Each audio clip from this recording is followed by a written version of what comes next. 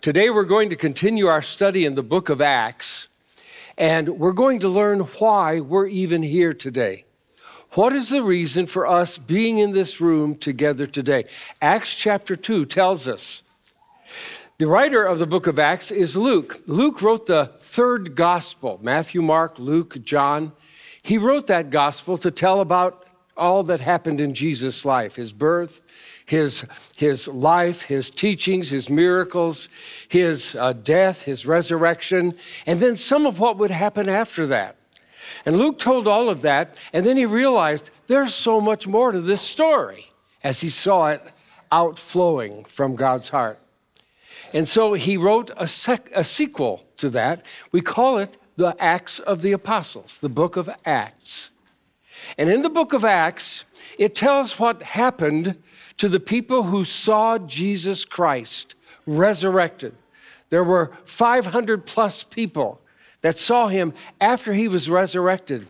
And God did some marvelous things. And one of the things that God said to them, Christ said to them, was, You've got to wait for a gift. I got something for you to do, but you got to wait for a gift. And so last week we saw what that gift was. It's in Acts chapter 1, verse 8. It says this But you will receive power when the Holy Spirit comes upon you and then you will be my witnesses, telling people about me everywhere in Jerusalem, throughout Judea, in Samaria, and to the ends of the earth. Now, right there, God said something's going to happen. You're going to get power. So last Sunday we said we got the power. And we have the Holy Spirit living in us. And He says, Now, with that power, I want you to go out and I want you to be a witness of what you have seen. Remember, most all of the people who, who starts here at the beginning of book of Acts had seen the resurrected Christ. 500 plus of them. He said, You've seen it. We're witnesses of it. It just happened 50 days ago. But then the day of Pentecost came.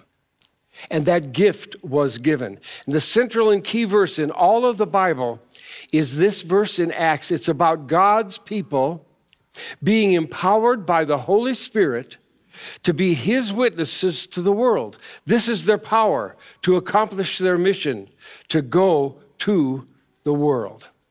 And so today we're going to study Acts chapter 2. I think it's very fitting for our 10th birthday celebration because of the fact it tells us how the church began, what the church was all about, and why we're here today in this room. So let's pray and ask God to teach us from His Word. And I'm going to read a lot of scripture to you today because it tells the story much better than I could ever tell it, and then we'll apply it to our lives. Let's pray together. God, thank you for every person in this room. I thank you so much for each of our individual lives and the way you have worked and are working in our lives. We're so grateful. You've been so good. We've sung your praise this morning, Lord. We've told you how much we believe in you and how grateful we are to you for all of your many blessings. Now we ask you to continue to help us understand who we are in Christ and what you have for us as those who are believers in the Lord are to be your witnesses. Wherever you send us, everywhere in our world, you are to be a witness through us. So may we hear your word, may we love it, may we rejoice in it, and may we obey it, Lord, as we leave this place today. For it's in your name we ask it.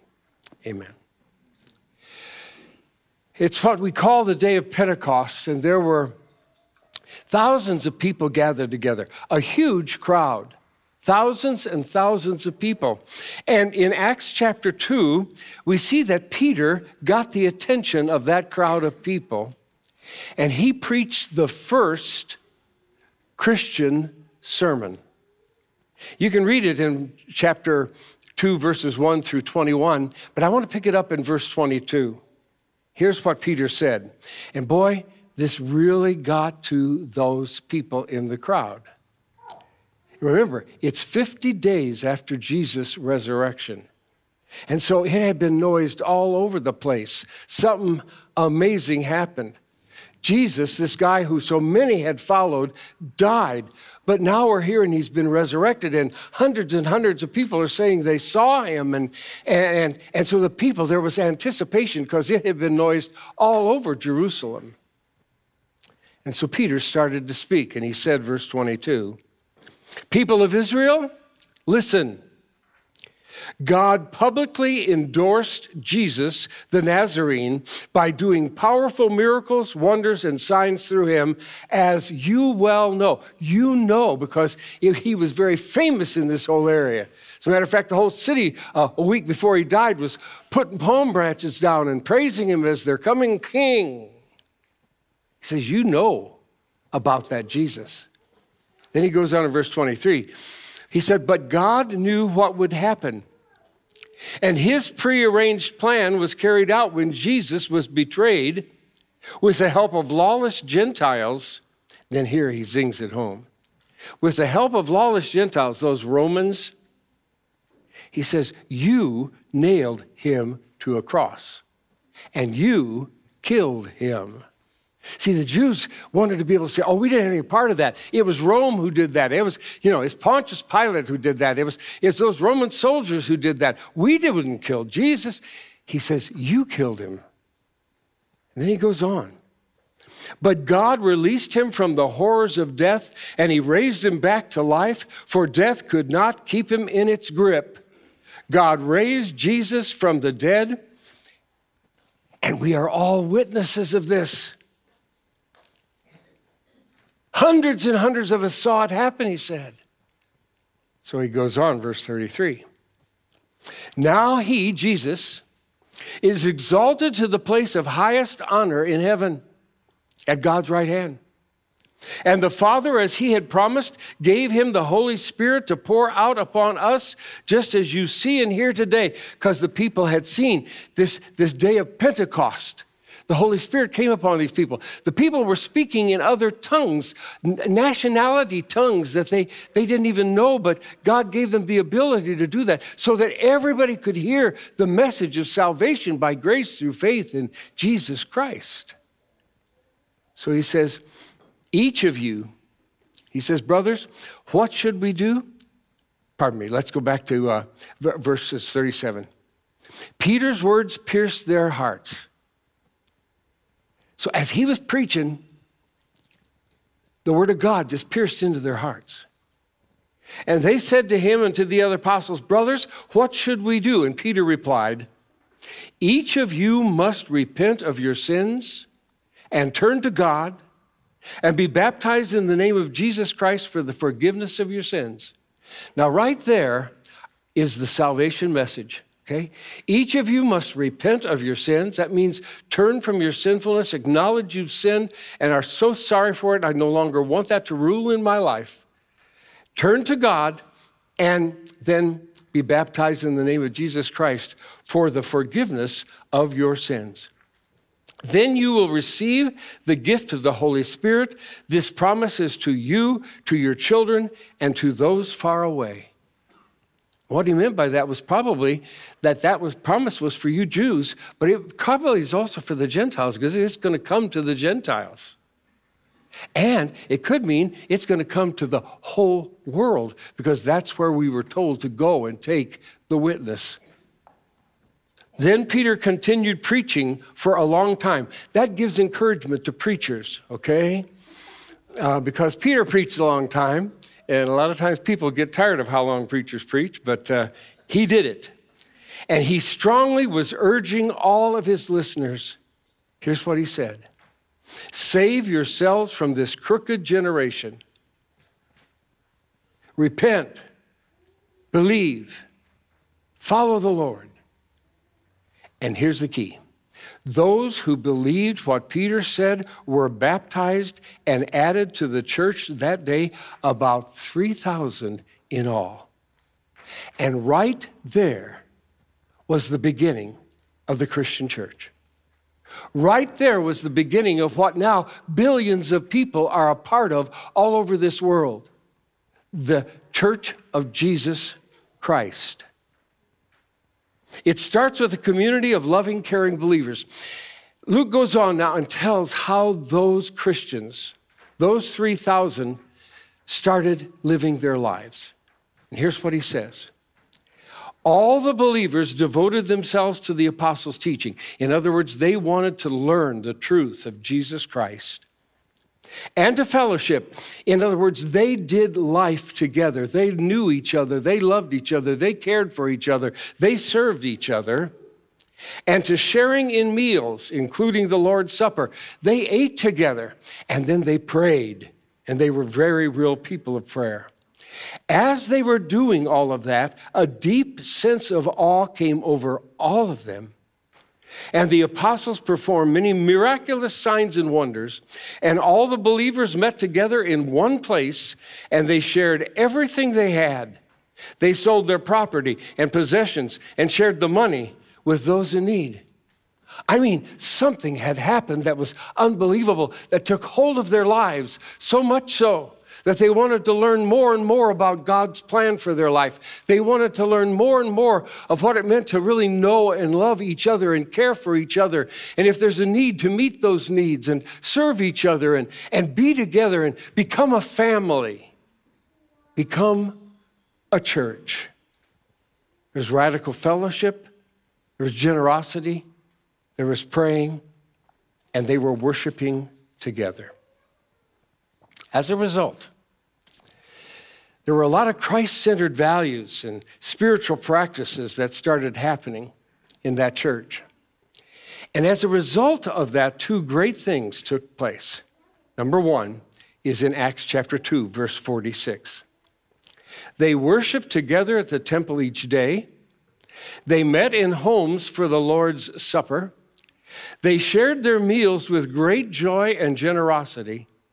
And all the while, they were praising God and enjoying the goodwill or the favor of all the people.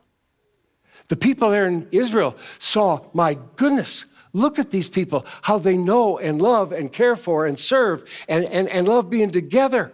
They've got something that we don't have. And so it says in verse 47 uh, and each day, the Lord added to their fellowship those who were being saved. In other words, the church started reaching its world, and God's kingdom was growing. Now, that was the start of the local church. There had to be hundreds of house churches because they really didn't have a place to meet. They didn't have a building. 3,000 people got saved, and more and more were being added so they had to meet in homes, what we call house churches. They met together at the temple daily at least, at least once a week, if not daily. But then they met in homes and they had fellowship and they prayed for each other. They cared for each other. They ate together. They took the Lord's Supper together. When people were hurting, they hurt with them. And when people were happy, they rejoiced with them. They served each other. They gave to each other. If there was a need, they met that need. Nobody had to be afraid. That was the New Testament church. And so, as believers today and as Simple Church, I believe we can have a powerful influence on the world, our world, wherever you are, our world. That's why we started this church 10 years ago. I'm going to tell you about it in a moment. But uh, what I want to do is to help you understand five undergirding principles that guide everything we do in this ministry. Because our goal is not to be a New Testament church because we're 1950 years later. But man, the principles that they had and the way that they did worship of God and love for each other is what we want to do. And so these undergirding principles are, first of all, we believe as a body of believers, we are created to connect. And we believe that one of the saddest things in the world is if people come to church and nobody knows them, nobody sees them, nobody understands them, they have no way to receive any care or any ministry, and they go and they leave. And I think that happens so much in church today. So we decided when we began this thing, we're going to meet around circular tables because that forces people to have to look at each other. And it forces people have to talk to each other and, and uh, get to know each other and fall in love with each other. So we are created to connect. And one of the reasons we have that connection time after the service where you sit and you talk is because we want you to be able to, if you've got a joy, to share it. If you've got a burden, to share it. If you have a need, let it be known so we can help you meet that need because we are in this together. We're a family. We're a body of believers that love each other because we love God and have been loved by God, and we want to be there to connect with you. And secondly, we're saved to serve. We're not just saved to be people who get to know a whole lot of stuff in our heads. But all that truth of Christ and his life is to be flowing out from our lives as we go out all week long to serve and to live for and to be there for others and to minister to them. We're saved to do something about what we believe. Paul tells us we've got to believe to be saved. But James says if all you do is believe and there's nothing that flows out of that, you better question your salvation. Because Christ, when He comes in us, when that Holy Spirit, that power comes in us, it should be flowing. He should be flowing from our lives, touching the lives of other people. The third thing, we believe that we need to practice the way. And practicing the way means to increasingly daily know more and more about Jesus, who he is, how he lived, what he, what he taught, and, and the way he ministered it to people. And then to seek to let that just increasingly not only be our knowledge that we've learned and are learning, but now it flows out from our lives. And so it's built around spiritual disciplines, uh, things like of course, studying God's word and knowing more about Christ. Of course, prayer and meditation and being silent. But then practicing the way means that we let that flow out from our lives as we grow in the grace and knowledge of Christ and touch the lives of others. The fourth thing that undergirds everything we seek to do here at Simple Church is we're made to move. And we constantly emphasize the importance of the fact that, folks, church is not about you. Church is about God, and it's about you learning more of who God is in His heart, who Christ is, and how He showed us God's heart and lived it out, and then letting that be coming from our lives, from our lips, from our witness. We're made to move out into this world and be witnesses of what we have seen and understood and come to believe in our hearts that Christ is the only hope of salvation for the world. And so we're made to move. And finally, we are blessed to bless. And one of the things when we started this ministry was we said, we want there to never be any fear in this church. And that means if somebody has a need, if you're willing to let us know that need, we'll do whatever it takes to come alongside and do the very best we can as a local body of believers to help you meet that need. That's why we have what's called a generous giving fund, and we say it all through the year. That fund is there. And every and this year we've given thousands and thousands of dollars already to help people, and we've given all kinds of hours of service and ministry to help people in their lives from this church. And we're, we're available to meet a need. If you have a need and you, that need's not met, and if it's a genuine need, I want you to know we're here to help because we are blessed to bless. And we believe these five principles fulfill the very attitude and heart of what we read in Acts chapter 2. That's what the church was supposed to be. And, and in this day and age, if we aren't careful, and I have certainly been guilty of this in the ministry that I've had over the years, but we can get all caught up almost in, in looking too much at external things instead of what God said. He said, You know, this thing isn't to be complicated. Life's complicated, but church shouldn't be. That's why we said, Let's do simple church. Let's just be there for people. Let's just love the Lord. Let's just praise Him together. Let's just know each other. and love each other and serve each other, care for each other. And as we do that, others will see, my goodness, those people have something in their life I don't have. They've got a community that I long for because my family's a mess. They've got someone who will come alongside them in a time of need and will really be there for them, no matter what that need is. God says, that's what church is. I think we've uh, kind of, uh, there's a strong, I don't use it, I don't know how to even say it. Bastardize is the word I was going to say, okay? but we've kind of bastardized the church and made it into a lot of what God doesn't want it to be. Because what he wants it to be is people who love him with all their heart, soul, mind, and strength, and who love each other the way Christ loved us and gave himself for us, and then to let that be lived out through our lives all day long. That's church. So I praise God for the 10 years he's given us here and for the way he's brought many, many people to this church. Half of the people that are part of this church aren't even here today. It's too beautiful to be here today. But I will tell you, I'm thrilled of what God has been doing. And I'm going to read a key statement as we close and sing. As we love God, as we obey His word, as we walk in deep community with one another, as we give selflessly, and as we pray continually, we believe we will once again be part of God's change.